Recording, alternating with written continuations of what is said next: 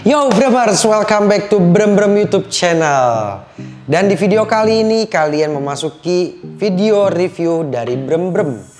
Hari ini gue mau nge-review speaker harga 1 jutaan dari brand Morel. So brand Morel ini punya tipe speaker Morel Maximo Ultra yang dibanderol di harga pasaran itu 1,8 jutaan. Buat kalian yang penasaran, simak terus videonya.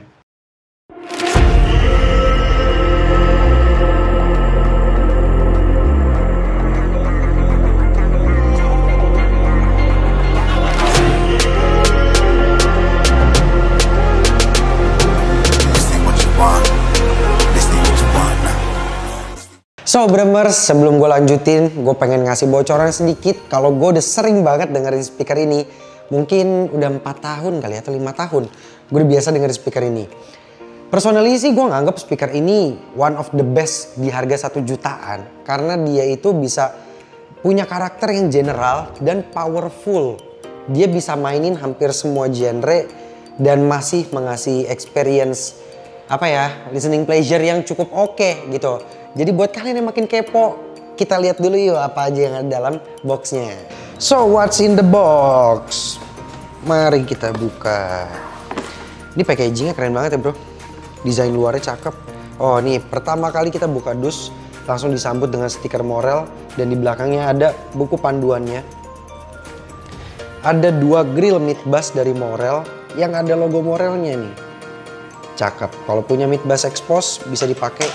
Oh dan ini ring speaker by the way. Ring speaker sama grillnya. Nah, ini keren nih dia packagingnya tuh rapi banget jadi extra safe. Mas susah ya bro ya. Brand Inggris ada dua mid bass. Ini biar lebih jelas kalian bisa ngeliat.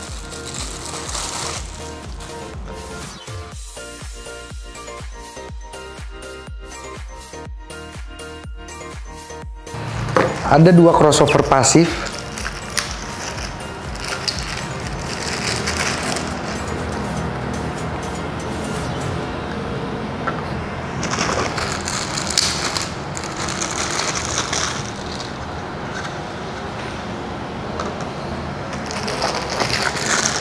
Nah, ini ada Twitter dari si Morel. Ada logo Morel juga dan ini dapat dudukan Twitter yang bisa ditaruh dalam dashboard eh di dalam di, di luar dashboard mobil kalian.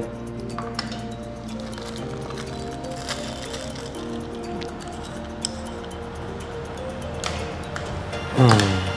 Oke, di sini juga ada hardware untuk instalasi. Ini kayaknya untuk dudukan Twitter. Kalau kalian mau taruh di dalam pilar, ada baut-baut speaker. Terus masih ada lagi nih dudukan bawahnya. Pantat untuk twitternya. Mungkin untuk ditaruh di dashboard tapi nggak mau pakai yang segede gini. Biar simple twitter doang langsung nyemplok masuk. Yap, that's it di dalam boxnya. Nggak ada lagi. Oh ada ini, eh, sekun untuk masang kabel untuk konekin ke mid bass. Dah, that's it. So sekarang gue mau bahas desain dari speaker Morel Maximo ini.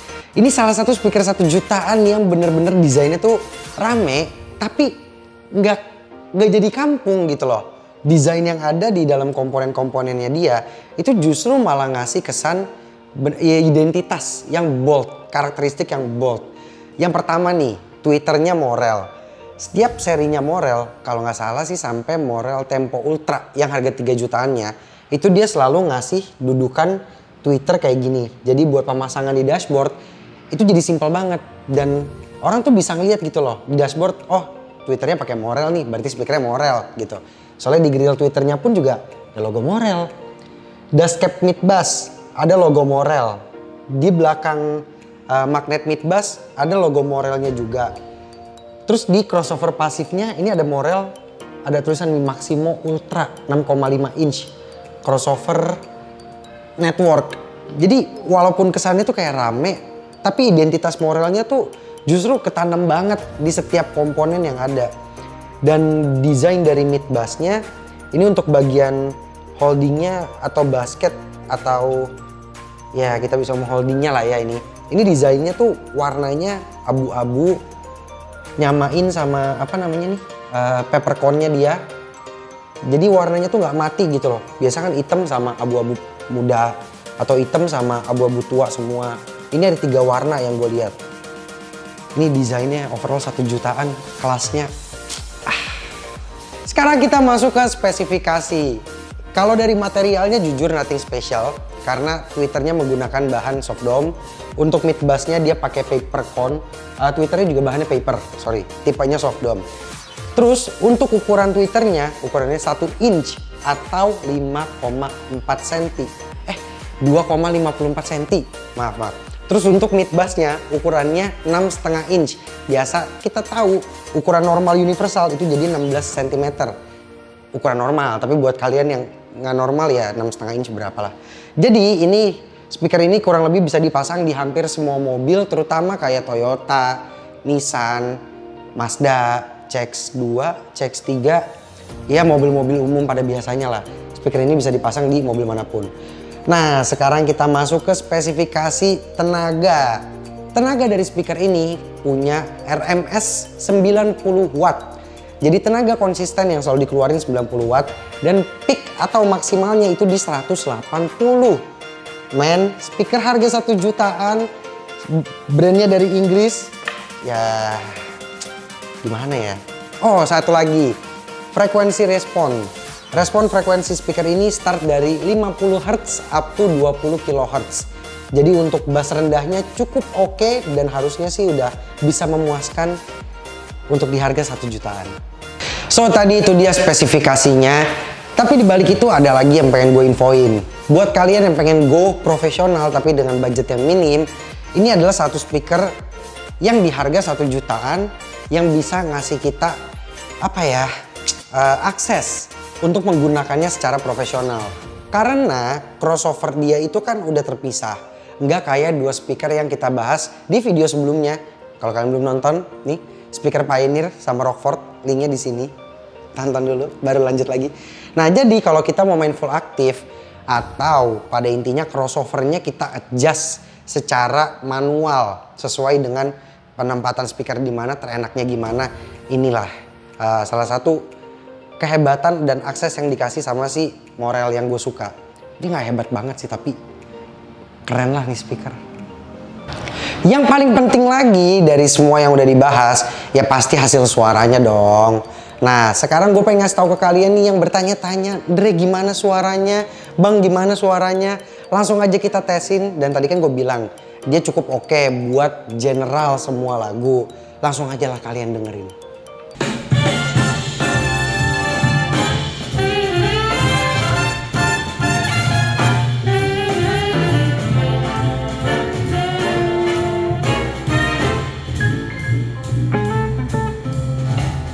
Got to feel in heaven when my lover's near. Lord, let this moment last for another year. Though today has ended, the night's still young, I'd say.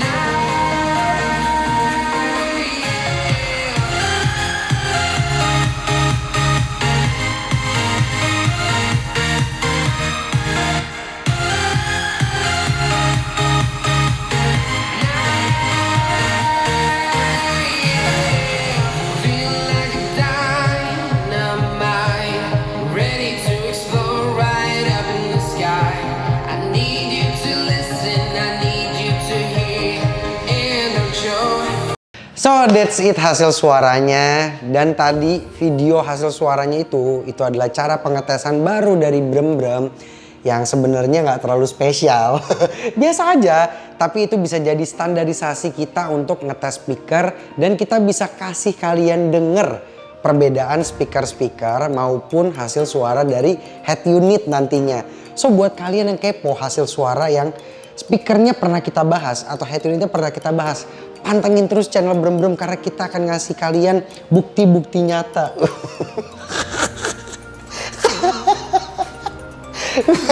Nggak sedramatis itu lebay-lebay.